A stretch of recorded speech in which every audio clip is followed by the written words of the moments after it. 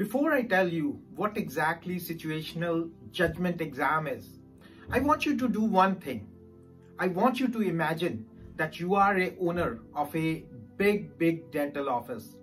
In that dental office, you have 10 operatories. You have 10 rooms with 10 dental chairs and you have patients visiting to your office from all over the town. Now, one day you went to your office and found that the office is short-staffed and there is only one dental assistant available there. So you ask your dental assistant to seat every patient there and let you know their chief complaint or chief concern and you are there on your own. So you are going to manage every patient individually, separately by going there in that room and talking to them. In room number one, you go and you find that a mother is there with her seven-year-old kid and he fell in a soccer match and avulsed his central incisor. She is concerned that if that tooth is put back or placed back in the socket, what are the complications she can expect in the future? So you are going to talk about that. You go to the next room and there is a patient who wants to get her amalgam filling replaced with the white filling. But before doing that, she wants to know what are the advantages and disadvantages of the filling or the restoration that we want to place in exchange for the amalgam restoration that we are going to take out. In the third room you go and there is a patient who wants to get a tooth extracted but is concerned that she is on blood thinners.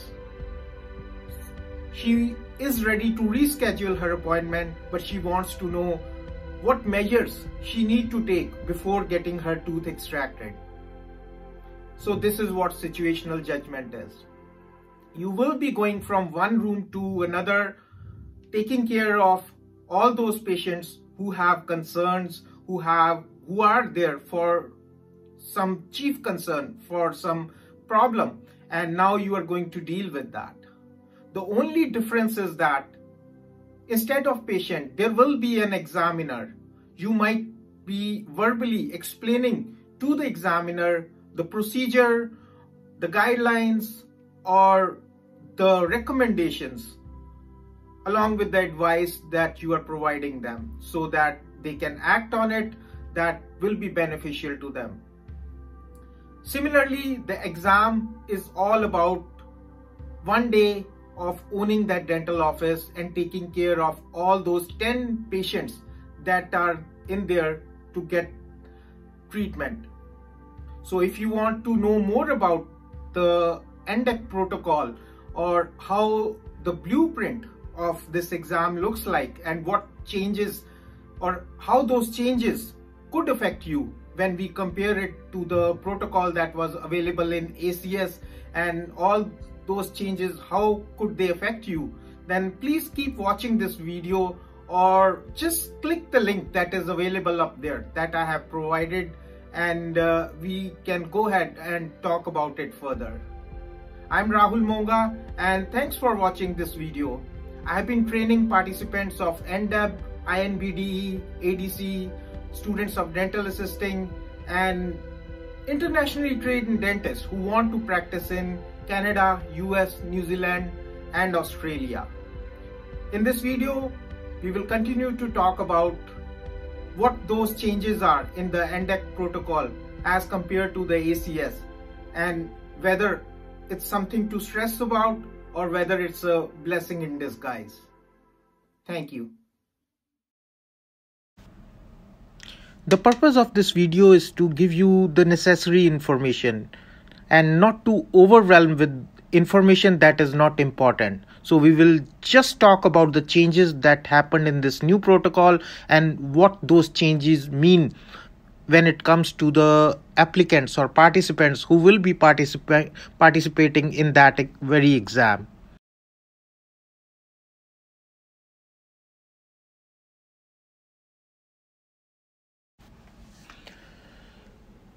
If we talking talk about so many things that this is going to be happening or this task will be included, then there is a plethora of information.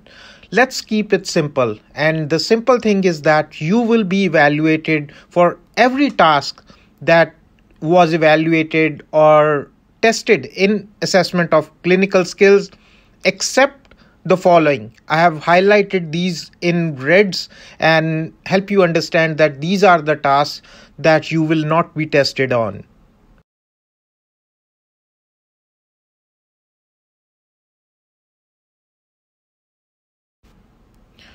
Class 3 composite preparation has been excluded, and the reason in the NDECC or NDEC protocol they have mentioned about why they have excluded it, but let's not talk about that. Our focus is to concentrate on the things that matters to our exam and uh, our preparation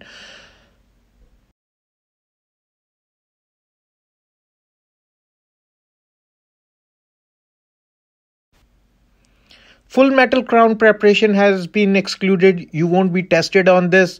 It could be the changing trend in dentistry as uh, most patients are now orienting towards having zirconia or ceramic based restorations and that could be one of the reason that uh, this task seems to lose interest among the examiners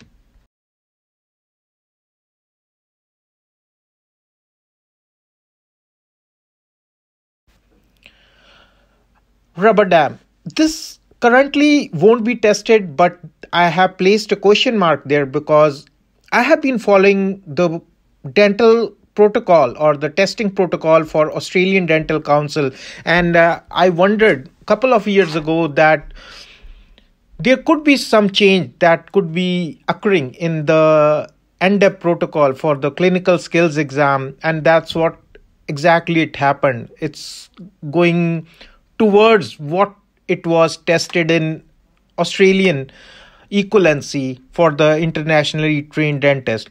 And in those exams, rubber dam was tested in the OSCE or the situational judgment that we talk about when it is relevant to the Canadian challenging or Canadian equivalency. So currently it's not being tested, but we don't know about the future. So let's hope for the best but right now there is no independent scenario or uh, evaluation for your skills on rubber dam application. That will be tested.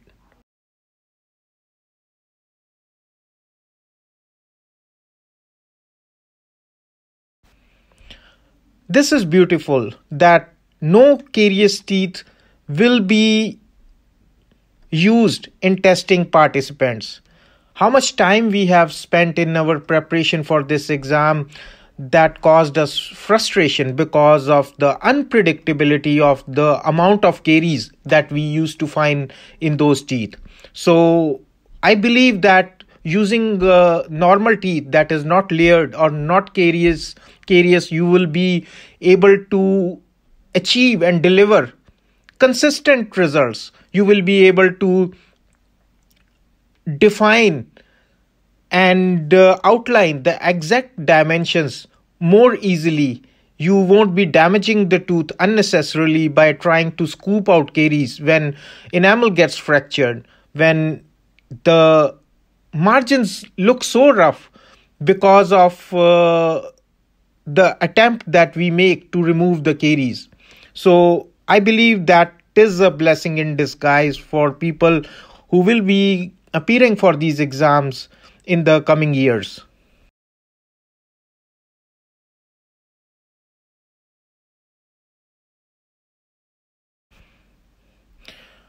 Provisional crown is seemed to be or supposed to be fabricated on the PFM preparation, the tooth that you have been prepared for a PFM crown. And uh, I like this idea because if you are preparing or fabricating the provisional crown the very same day after you have prepared the tooth for PFM, you now have a good chance of delivering your preparation with excellence, with the results that you want to have in your preparation. And that's because just by having that provisional crown made, you can measure its dimensions that how much you have reduced. If it breaks while removing the provisional crown, you get an instant idea that there is a undercut in your preparation and that can be corrected right away. Isn't that wonderful? So, this is also, I believe, to be a blessing in disguise. And I would say that that's only if it's uh, happening on the same day. If something changes in the future and part of the skills are, are being taken on the second day, then still during your preparation for this exam, you will get an idea that how your provisional crown is coming out depending on how you have prepared your tooth for the PFM crown. You will get better oriented at that how much you want to reduce to get this thickness of the provisional crown.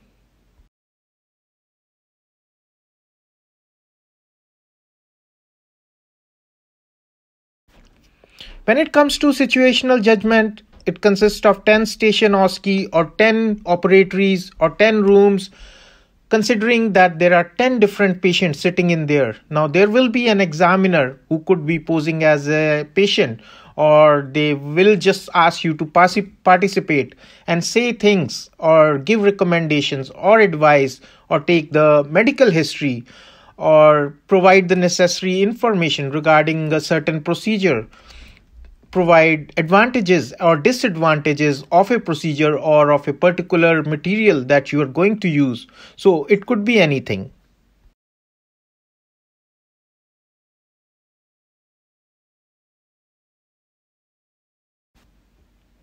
You will be spending around 15 minutes per station in 10 different rooms. You will be allowed some time to read the statement or read the questions, or it could be that examiner could be verbally stating you something and uh, you might be given some time to process that information it could be displayed on a video so the source of that information could change but you will be allowed some time to process that information so that you can plan ahead what action you are going to take or how you are going to respond.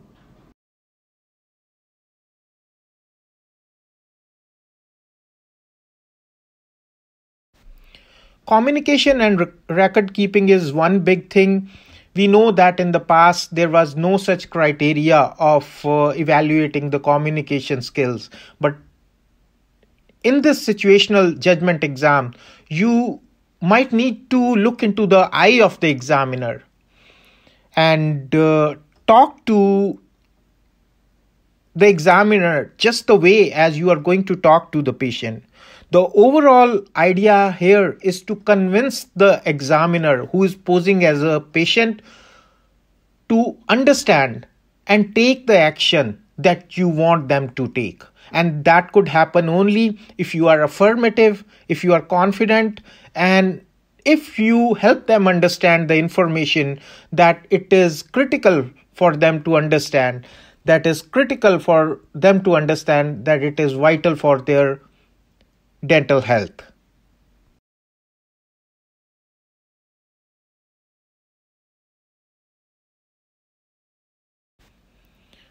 Some people may ask that what is the best time to challenge this exam in a year? Uh, how much time do we need to prepare for this exam as this is relatively new or even in the future?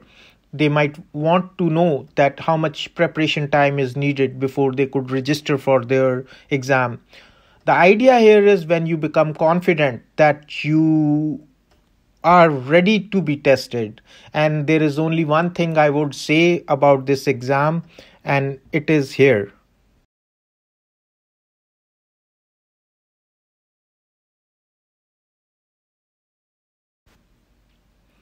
Register for this exam when you become comfortable with the feeling of being judged. The idea here is you will certainly definitely be uncomfortable when you will be looking into the eye of the examiner. You won't it would be hard for you to think them as a patient initially but it is a practice that you would need to do during your preparation time. Do not focus on your own deficiencies on your own lack or do not doubt the content or preparation that you have done in the past for this exam. Rather concentrate on the fact that this examiner is a patient whom for whom you will be helping to get the desired needed service for their oral well-being. So if you focus on their well-being that's when the confidence will come out since you will no longer be focusing on your own drawbacks or deficiencies. So, this is one critical thing that I want you to practice on that focus on the things that a patient can get from you since your main intention is to help them. In that way, you won't be nervous and you will give them the desired information that could be very beneficial to them.